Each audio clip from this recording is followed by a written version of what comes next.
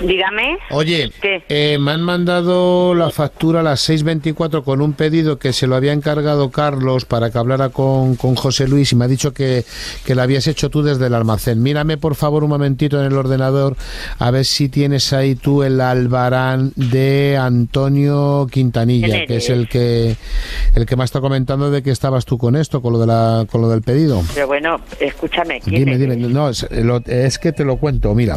Pero escucha que... Ya, es que te lo digo porque, a ver, eh, Angelines, yo no puedo estar más tiempo esperando esa mercancía. Pero bueno, escúchame, que yo no soy Angelina, ni, ¿Mm? si, ni aquí hay mercancía, ni aquí hay de nada. Esto es una casa particular. No. Entonces, ¿qué es lo que ocurre? Que yo ayer por la tarde, porque tuve que ir a, a- a ver a Carlos, porque están ya con el tema del material, que lo tienen todo metido en el almacén, me dice, no, si es que Angelines no me ha dicho nada. Entonces, tú, tú, tú entonces, ¿por qué no llamas tú a Laura? Tú. Pero eh, tú te has equivocado. Venga, anda, tira. Dime. Oye, que se ha cortado. Entonces, yo estoy viendo aquí el Albarán, es la factura la 1635. Mira en el ordenador a ver si la tienes tú ahí compulsada. Escúchame un poquito. No, María Ángeles, si es que está, el pedido tenía Pero que yo no soy María Ángeles. Pero muchacha, Te si se- estás enterando de que no soy María Ángeles. pero si habló ayer contigo, Pedro, de Bodegas Arzuaga. Si te llamó ayer a ti, Pedro. ¿Pero qué me va a llamar a mí si yo no conozco ni bodega ni Cristo que lo fundó? Bueno, pues entonces tú tendrás que hablar con Portas, que es el que tiene el albarán. Si es que me llama a mí ahora, María Ángeles, si yo no quiero meterme en, en lo que no me No importa. hay ningún Angeline, ni conozco a nadie, ni a Laura, ni a Cristo que lo fundó. Pero vamos a ver una cosa. ¿A ti ayer no te llamó Carlos Ronda por la mañana? No, Bueno, pues Carlos Ronda ha hecho el pedido porque me llamó a mí desde la fábrica y me dijo que había hablado con tu cuñada. venga ya, anda, anda, tira, que, que yo no soy ni María Ángel ni Cristo que lo fundó. Venga. Bueno, otra cosa que te quería comentar. Diga, Oye, dígame. escucha, que está hablando con María Ángeles referente al pedido. ¿A ti te ha llamado Carlos Ronda o Portas? Me parece que se ha equivocado. No, que si te ha llamado a ti Portas. A ver, ¿quién, ¿a quién llama? Vamos a ver, es que te cuento, no ha llegado la mercancía que me dijo ayer tu cuñada que la habíais mandado ya en el tráiler. Escúchame, que no es aquí donde llamas. No me expliques nada. Sí, pero es- Es como si no hablaras con nadie. Pero si me ha dicho Portas que te llame, que te llame a ti. Déjame que te lo cuente, por favor. Pero si es que no me cuentas nada. Pero si es que no te hablando. Vamos a ver, María Ángeles me ha llamado y me ha dicho que ayer estabas en la peluquería tú, que te ibas a hacer unas extensiones. Que yo no me sé expresiones ni, ni nada de nada. ¿Qué otra cosa? ¿Que qué tal la habéis pasado en Gandía? Pues no hemos estado en día, así que te estás equivocando de persona. Otra cosa, eh, No me digas más cosas que te No, que- que- Estás equivocado. que no, escúchame, que qué tenéis de comida hoy. Sí, dígame. Oye, está hablando con, eh, con Paco referente al tema de la mercancía, el Albarán 634. Parece Eh, que a ver, un momento, hemos que no con este- que hemos estado eh, esperando la mercancía, que acabo de hablar con Paco, el Albarán el 634. Parece ser que no lo localizamos y he hablado con él, pero no hay manera de porque... Esto es una casa particular. No, pero, hay que- ya, pero es que yo tampoco, es que yo no sé por qué Pero yo tengo- no sé quién es usted. Ya, pero es que yo tampoco no, no sé por qué no habéis mandado la mercancía. Yo no sé quién es Paco. Claro, pero si es que Paco es el del almacén, Jesús. Es el del Pero yo almacén. no soy Jesús, Claro. estoy diciendo que, que se ha equivocado de número. es que, es que luego decimos que es que no llegan las cosas a su tiempo. Hombre, Por Dios. dígame. Oye, se ha cortado. No, Entonces, nada, se ha cortado, no he cortado yo porque le estoy diciendo que esto es una casa particular, que yo no soy Paco. si ayer por la tarde cuando te dije que tenía que estar aquí la Que mercancía, yo con usted ayer por la tarde no hablé, hombre, como siga llamando voy a denunciarle, hombre, ya está pero bien. que hablé con Paulino ayer.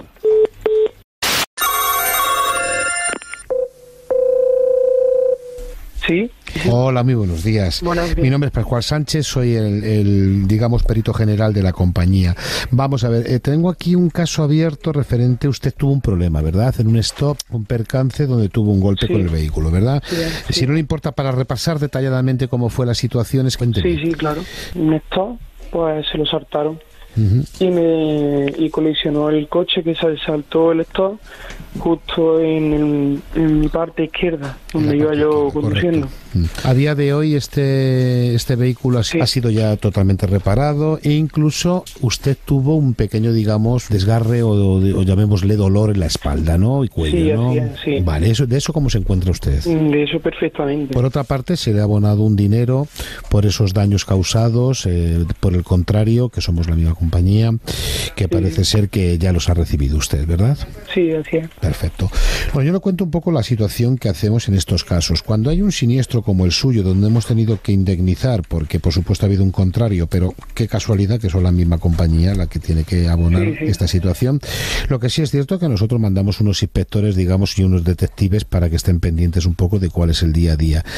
Y tengo que decirle, señor don Alejandro, que me gustaría que me explicara, porque nosotros sabemos que usted, cuando estaba de baja y con el dolor de cuello, parece ser que salía usted a reposar un poquito a bares que tiene usted en su ciudad.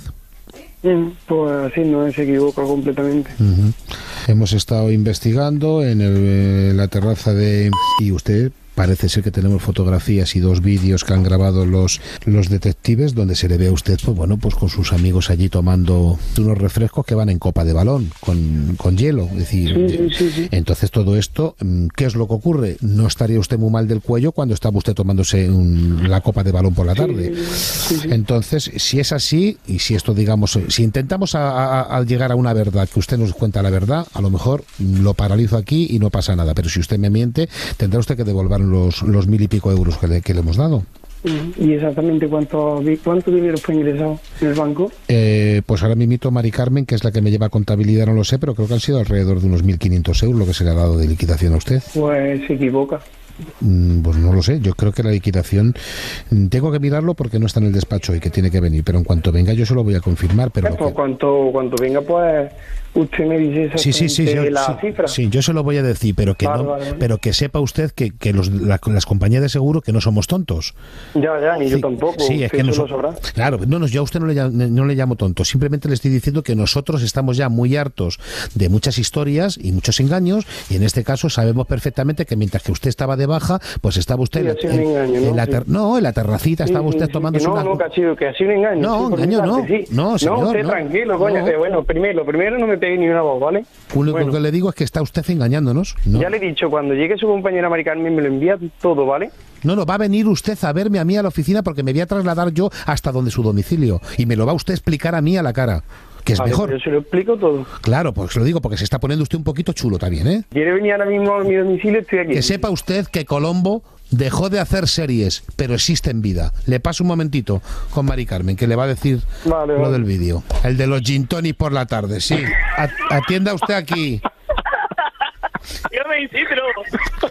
Qué perro que Bueno, soy. que es toda una broma telefónica, que soy Isidro Montalvo del programa Atrévete de Cadena Dial y entre todos tus amigos te han querido gastar esta bromita fresquita muy rica. Así que nada, Venga, muchas un gracias. abrazo a todos. Venga, adiós. Venga, Chao, adiós. pareja, chao. Ay, ay, Tonis.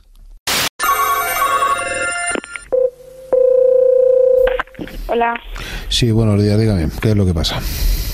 Eh, pues mira, yo no lo sé muy bien, pero que hay a veces que no llaman y no no se le no se le oye a la persona. Vamos a ver, le paso con técnica un momentito, ¿eh?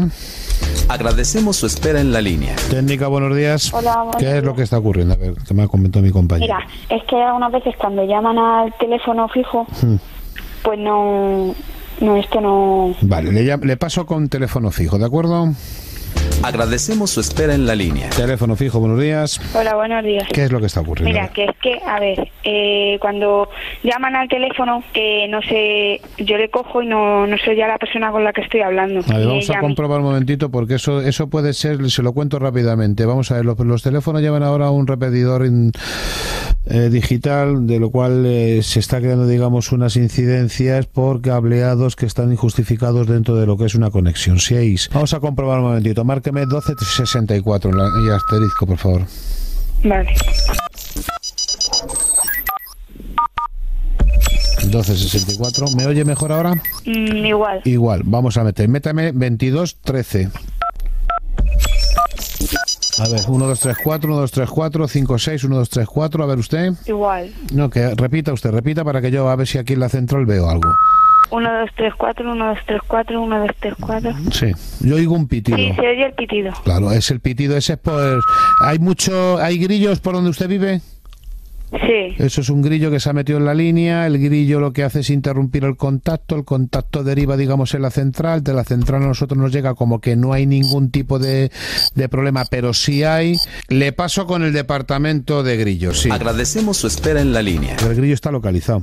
Mm, pues no lo sé. Vale, bueno, yo le cuento un poquito porque los grillos son difíciles de quitar de las líneas. Ahora está el grillo durmiendo, tampoco podemos molestarle. Lo explico en el aspecto de que tal. Le voy a pasar un momentito qué es lo que tenemos que hacer con los grillos para que solucione usted el problema. Sí. Agradecemos su espera en la línea. Eh, no tendrá usted, eh, vamos, la única manera, lo que estamos recomendando es sacarle lechuga. Vale.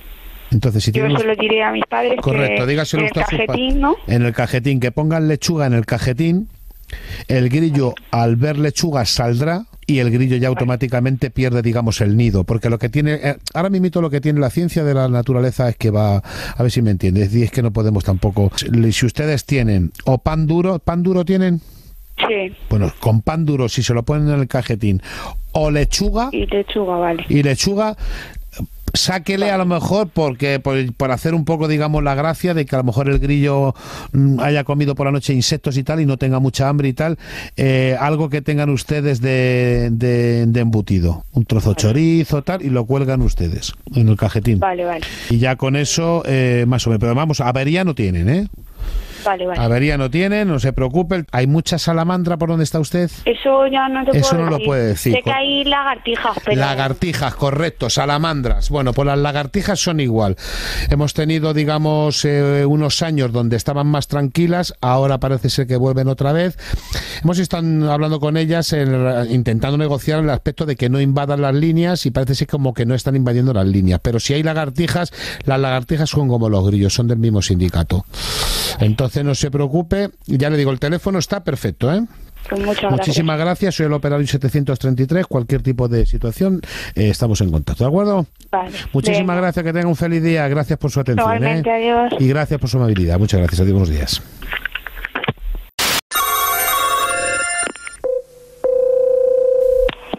Hola. Hola, muy buenos días. Le llamamos de aquí de la agencia tributaria de Hacienda. Sí. Vamos a ver, han hecho ustedes una reclamación al respecto de una liquidación que habría que devolver del ejercicio 2017. Sí. Quisiéramos saber un poco en qué, digamos, concepto han hecho ustedes esta reclamación, por favor. Eh, no sé, ahora mismo me pillas así un poco descolocado porque no sabría decírtelo, pero bueno, nos dijeron que iba que había que hacer un escrito, que nos iba a llegar una carta. Correcto, iba a llegar una carta donde ustedes verdaderamente pues tendrían un poco de información de lo que está ocurriendo. Vamos, ustedes lo que están pidiendo, porque aunque es, su- es su señora la que ha mandado la reclamación, usted por Sí. supuesto como, como esposo pues tenemos que comunicárselo, ¿no?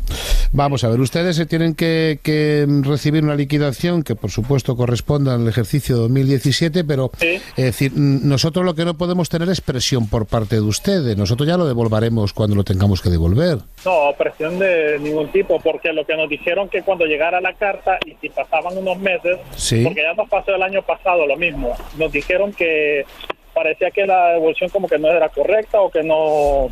No, vamos a ver, si todo es correcto, siempre y cuando, por supuesto, nosotros lo hagamos, digamos, oficial al respecto, que por eso nos pondremos en contacto. Pero lo que no podemos hacer es estar ustedes, venga a reclamar, cuando ya les hemos dicho que, bueno, que ya veremos nosotros cuándo vamos a devolverlo. La situación ahora mismo del país no está como para estar devolviendo dinero de- desde Hacienda. Ya. Ya, ya, Usted, a ver si entienden ustedes un poquito cómo está la situación. Es decir, no está el país para estar devolviendo. Vale, perfecto. No No, sé. mire, entonces nosotros, bueno, lo que te digo, nosotros nos indicaron en la oficina eso, que nos iba a llegar una carta y si pasaban unos meses, pues que preguntáramos. Sí, ya, pero bueno, Estaba- ¿no? el preguntar, el preguntar, el preguntar, pero es que del preguntado están ustedes ya pesados también. Deje el tel- oiga, deje el teléfono que me está usted que me está usted mareando con el teléfono. No sé qué hace.